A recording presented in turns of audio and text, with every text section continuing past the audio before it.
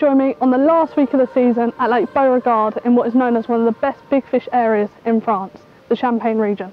We've been invited down by lake owners Tom and his dad who gave us a quick tour of the lake and showed us the facilities that the place has to offer. The lake itself is about 10 acres in size, has around 180 to 200 carp up to the 60 pound mark. As it is the first time seeing the lake, I'm going to go for a couple of laps, see if I can see any carp and decide on where to set up for the week ahead.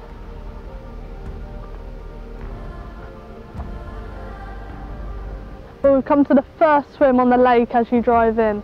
And as you can tell, this one swim does command quite a lot of water. But after speaking to the lads about the average depths of the lake, they did say it's around five to six foot at this time of year. However, in this swim, in this, I'd say, acre of water, it is only about three foot. So at this time of year, with the temperatures dropping, it's probably not going to be my top choice. But if the fish do get down there, there could be a little stalking opportunity. So with that in mind, I'm going to have a little walk around the lake, see where the deeper areas are, where the fish might be holding up at this time of year, and see where the best opportunities will be.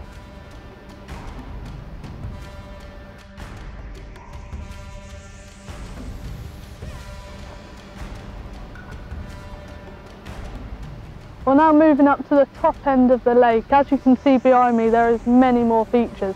You've got islands and where the water's currently down at the moment you can see the bars that run through the middle. Me personally, I'd probably only fish a maximum of say two rods in this swim, which isn't really ideal, especially when we're here for a week. I feel like if I was to land a fish in this swim, it probably may only be that one or two opportunities that I get throughout the week, as they probably, as I'd imagine, patrol around the island and if you do land one and causing that disturbance, it will probably push them down to the open water. So I'm going to have a little look around, head over to the main open water swim and see what that has to offer. Then I'm going to make my mind up on where to set up for the week ahead.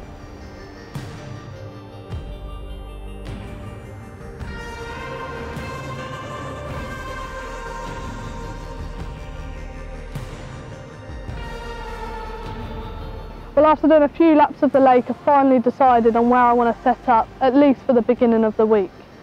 With the lake essentially being two halves, I'm going to set up in this swim, which commands a lot of water, and my mate James is going to go to the left, where he can see that whole end of the lake.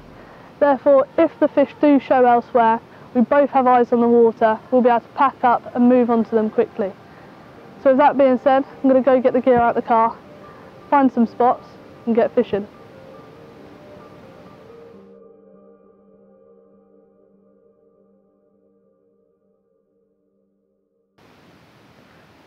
Well, that's the rods put out for tonight. After a long day of finding spots, I didn't want to rush too much as I have got six nights ahead of me, but I have found three different spots that I am going to be fishing. The lake is a bait boat dominated water, so I did bring a boat with me. The left hand rod I have put out over a hard clay spot on a solid bag with a bit of bait. The middle rod slightly to the right over a soft silt spot. As I say again, over a bit of bait, see if that's going to make a difference and thirdly the right hand rods to the right on a small gravel hump which is slightly shallower than the rest of the lake. As I say, it is bait boat dominated, so people will be putting out tight beds of bait. The right hand rod on the gravel, I have put the marker up and I've just scattered around 30 boilies around it, just to do something a little different to see what works. So hopefully one of them will go tonight and I can determine where the fish are feeding. Yeah, we'll see what the night brings. We'll go from there.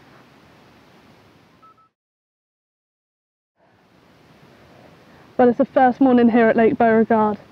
And about an hour before first light, my right hander that was on the small little gravel bar, just a, about three foot it was, with a handful of boilies scattered around it, absolutely tore off. Woke me up, I was in complete shock to be honest. This one going 29 pound 4 ounces. Not a bad way to start the session, but we're going to get the rods redone this morning. I'm going to have a little rethink about the other two rods as they're over silt, and if they're feeding on the gravel, then I'll probably redo another rod onto a small gravel bar or a small hump if I can find one. But yeah, for now I'm going to redo this rod, get it back out there, a few more boilies and see what the day brings. Well after having that fish this morning I wasted no time in getting the rod back out on that gravel spot with a handful of boilies over the top of it. I actually walked over to my mate James's swim who's just fishing on the left of me on the other half of the lake and had a little chat with him as he caught two last night, uh, a new PB at £51 and a 37 had a little chat and uh, he also mentioned that he caught them over gravel so it made me have a little rethink in what to do.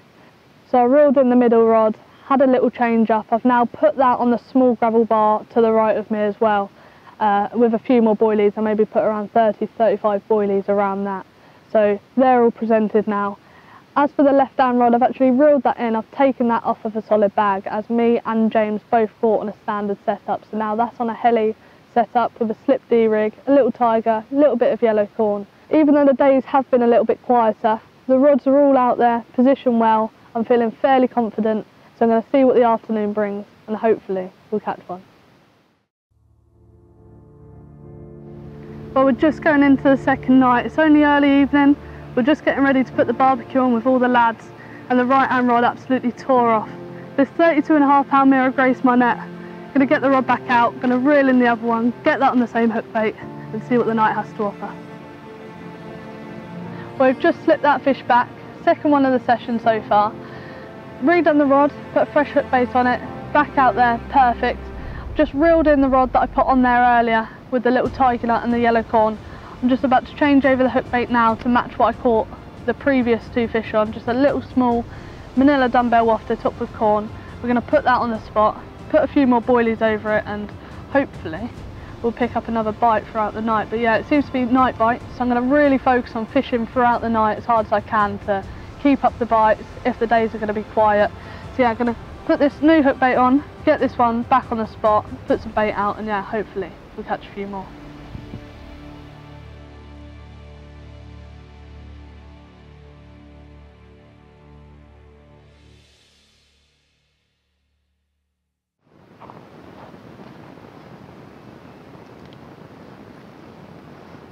Well, after having that fish last night, I really thought that another one was going to be on the cards. I was watching all night and I didn't see anything or hear anything all throughout the night.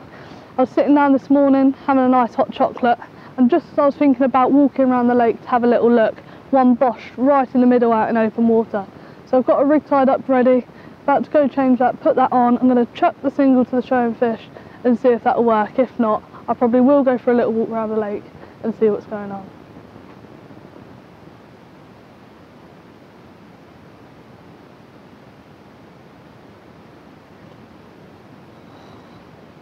Oh, that was literally on its head. Didn't really get a drop, so that probably is quite thick silt, but with the helicopter bead quite far up, that will still be presented. So we'll leave that there, see if anything happens, keep our eyes on the water, and if not, we'll have a little think.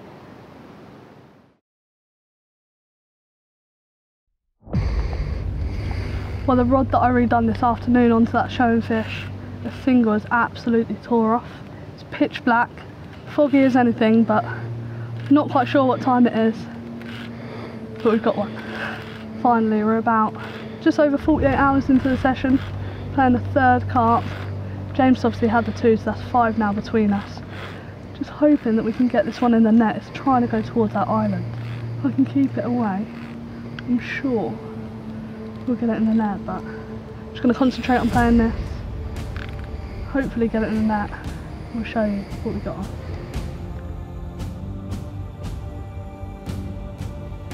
Well, the single that I cast for showing fish earlier in the day has clearly worked. This one has fallen to a yellow single pop-up out there. Literally couldn't get it any closer to where it showed. It's around midnight now. This one's gone just over 33 pounds. The biggest of the session so far. I feel like we've still got a bigger one in the cards. Still got a few more nights ahead of us. The fish are still out there. Let's see what the night brings.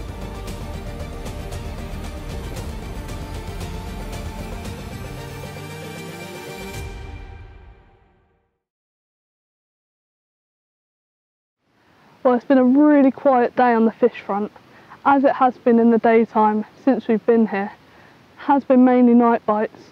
Haven't seen or heard anything today, but got the rods redone just before dark, made sure they were presented right, and the middle rod, just as I was getting ready to watch the England game, absolutely tore off. As soon as I hooked into it, I could feel it slightly grating, which I think it just went behind the gravel bar a little bit. But obviously I've managed to get it up and over managed to kite very, very much to the left, heading towards the island. I know there's two air aerators over there, so I don't want to let it get too close to that. I'm just going to focus on getting this one in and hopefully land the fourth fish of the session. Temperatures dropped. A lot colder tonight, really misty. So yeah, I'm just going to focus on getting them in, hopefully get it in the net and show you what we have on the end. Small common. we have the fourth one in the bag. Can I get, get the rod straight back out there? I'll show you what we've got. Whilst the fish is currently resting in the net, just want to maximise my chances, get the rod out as quick as possible. If the fish are there, I did put in a little bit more bait earlier. Uh, if the fish are there, obviously I want to get the rod straight back out there. Fresh hook bait, rod's already wrapped up. As soon as this is on, get it straight back out. Hopefully we'll have another chance tonight obviously when fishing you want to always see where you're aiming to by a tree line marker so in the dark you've always got somewhere to aim to. I've got a pylon just out in front of me. Doesn't matter too much if this goes a little bit to the left because I'm fishing on a big spread of bait. So I'm going to get this out there, hopefully it'll go in line with where I need it. Let's little cast.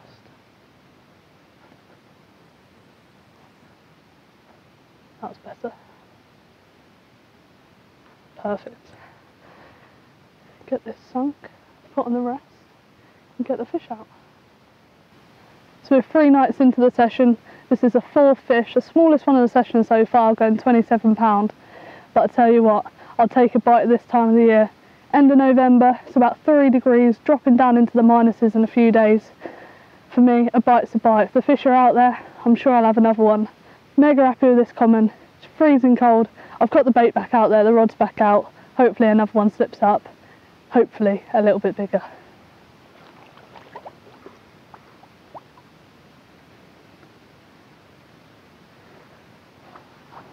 Well, as expected, that did not take long at all. Got that fish back literally minutes after I went to the bivvy, changed my hoodie as I got a bit wet, and the middle rod went into absolute meltdown once again. As soon as I hooked into it, I knew it was a better fish playing it, it was just slow and plodding along.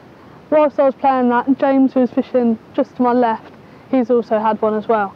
So I'm going to get this one out, going to weigh it. it. does look a bit bigger than the ones we've had. See what it's like, and yeah, take a look at James's as well. Well, it was only a matter of time before we got into a slightly bigger one. This one going 44 pound 10 ounces, proper pretty mirror. The scales going down its tail are absolutely stunning. Really, really chuffed with this one. Rods are back out. There could be chance of another one tonight, but the temperature's really dropped. Absolutely freezing. Gonna slip this one back and we'll take a look at James's one. Well, look at that. For £40, 4 ounces of Lake Beauregard mirror. Taken on a single pop-up, chucked it to showing fish. Had, as Lauren mentioned, literally at the same time as her second fish of the evening. So, I'm to get this one back, get the rod back out, celebrate England winning and then we'll get in bed and hopefully we'll have a few more during the night.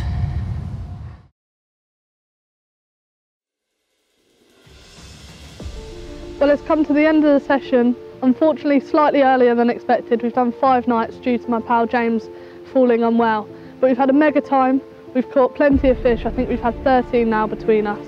I managed one midday yesterday around the 20 pound mark but from then it went a little bit quiet for me, the temperatures dropped, it did really get cold. Last night James also managed a mid 30 mirror which was mint and then this morning he also had an upper 20 common which was great just before we packed up. We've had a mega time here, the facilities have been great, the lake owners have really looked after us. But unfortunately as I said we do have to leave early. So I've packed my car, I'm heading off to Gigantica and James is heading back to the tunnel. But I'm sure we'll be back here soon.